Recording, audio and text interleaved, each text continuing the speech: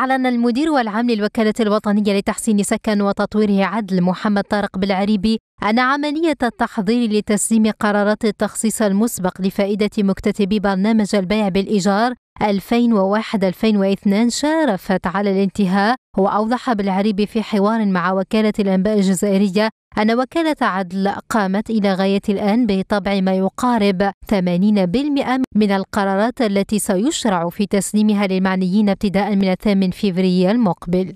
وتعتزم وكالة عدل تسليم 40 ألف قرار تخصيص مسبق منها 20 ألف قرار بالعاصمة وهو ما يتناسب حسبه مع عدد السكنات التي فاقت نسبة تقدم الأشغال بها 70%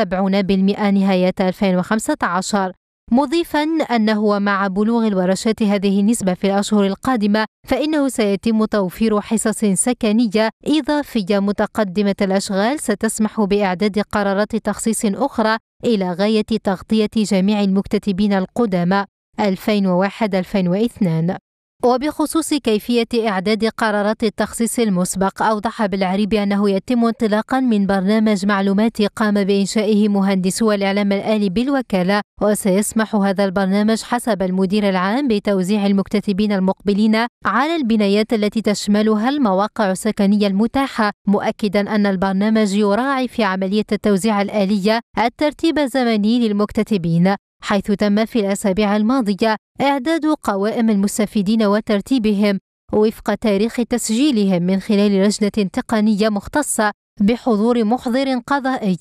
مضيفا أنه تم التأكد من القوائم التي تم إعدادها بواسطة لجنة ثانية ومحضر قضاء آخر قصد ضمان الشفافية الضرورية في العملية.